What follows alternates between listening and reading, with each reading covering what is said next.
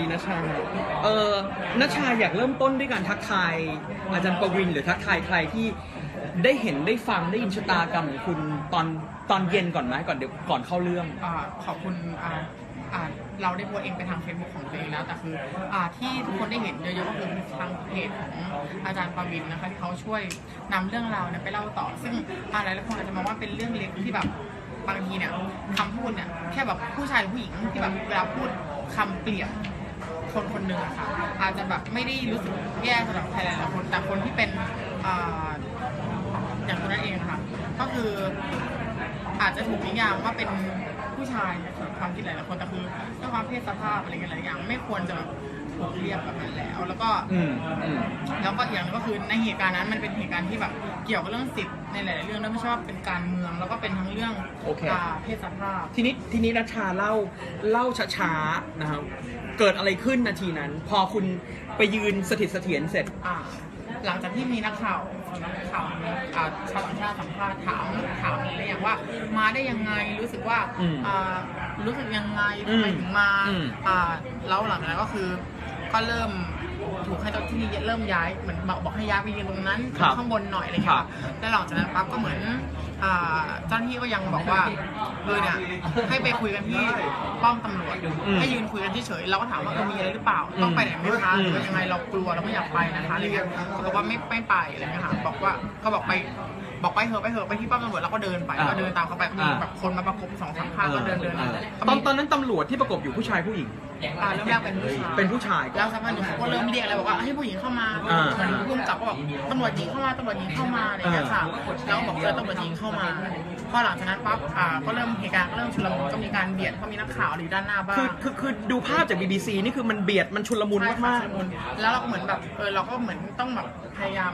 เราก็งงว่าเราต้องไปที่ไหนอะไรอย่างเงี้ยเราก็ยืนแบบคิดปกติ แต่หลังจากนั้นปั๊บเราก็ได้ยินอ่านคำสั่งว่าเอาผู้หญิงมาตำรวจผู้หญิงมามาจับจับจับไปขึ้นรถเลยอะไรอย่างเงี้ยค่ะ อืมอืม แล้วเราก็เริ่มเริ่มคิดแล้วว่าไปไหนพอหลังจากนั้นปั๊บได้ยินเสียงตำรวจผู้ชายๆซึ่งอันนี้คือจุดจุดพีคจุดพีคคือ จุดพีคที่กระแทกหัวใจเราคือได้ยินเสียงว่า ว่า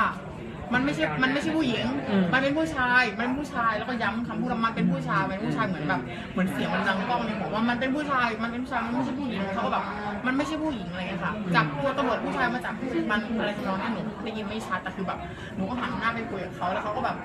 อะไรอะไรมึงคำเขาพูดเขาคุ้นเคยเคยเห็นกันนะคะเพราะว่ามันเป็นผู้ชายอะไรเงี้ยค่ะ เป็นผู้ชายทำไมอะไรเงี้ยค่ะ แล้วเขาเขาเอามือในคลิปอาจจะเห็นว่ามีมือมาดันดันแล้วเอามือแกล้งหนั่นนั่นทำไมนั่นคือมือผู้ชายผู้หญิง คนนั้นแหละค่ะ มือผู้ชายคนนั้นเลย ผู้ชายคนนั้น เขาพูดกับคุณว่าอะไรนะ อะมึงแค่ล้มเออ มึงประมาณมึงแกล้งล้มทำไมใช่ค่ะ เออ หลังจากที่เขาพูดว่ามันเป็นผู้ชายมันเป็นผู้ชาย อืม อย่าไปเรียกมันเป็นผู้หญิง ทำนองนี้ค่ะหมายถึงว่าอย่านิยามว่าเป็นผู้หญิงมันเป็นผู้ชาย โอเคทีนี้เอ่อสองคำถามสุดท้ายเป็นอย่างนี้นะชา พอคุณกลับมาถึงที่นี่แล้วความรู้สึกเป็นยังไงบ้างพออ่า โดนโจมตีด้วยประโยคต้องนี้พูดแต่บนรถเลยค่ะฮะฮะอ่าร้องไห้กับแบบฮะทำไมต้องทำขนาดนี้หมายความว่า เราเนี่ยเป็นคนหนึ่งที่แบบเป็นคนที่ไม่หัวร้านเป็นคนหนึ่งที่แบบไม่ถ้าหลายๆคนรู้จะไม่หัวร้าน อืม คุยได้ อืม แล้วบนรถคือแบบทำไมต้องพูดมันไม่เกี่ยวกับเรื่องทำไมพูดร้องร้องไห้บนรถกับพี่ตำรวจสองผู้หญิงสองคนใช่ร้องไห้พอมาถึงก็เริ่มแบบเออใช้น้ำตาเดินเข้าไป แล้วเห็นหลายๆคนที่นั่งอยู่อะค่ะ น้ำตามันก็ไหลออกมาเองเหมือนคือแบบ เอ้ยทำไมต้องเรารู้สึกแบบอธิบายความรู้สึกไม่ได้แต่แบบน้ำตามันไหลออกมาแบบทำไมทำไมต้องแบบทำไมต้องเรา ทำไมต้องมองว่า เออต่อให้มันไม่เป็นเหตุการณ์ที่ไม่เกี่ยวกันทำไมต้องแบบ เอามาพูดด้วยหรือว่าจำเป็นไหมที่ต้องเอาเรื่องเพศเนี่ยมาล้อ หรือว่าทำต่อให้ไม่ชอบกันขนาดไหน ความเห็นต่างกันแตกต่างกันแค่ไหน ก็ไม่ใช่เรื่องที่เอามาแบบมาบัฟหรือว่ามาทำให้รู้สึกน้อยเนื้อต่ำใจกับเพศสภาพอะค่ะเออคำถามสุดท้ายเป็นอย่างนี้นะชาสำหรับในอนาคตใน การเคลื่อนไหวทางการเมืองเนี่ยนะฮะคือเอ่อ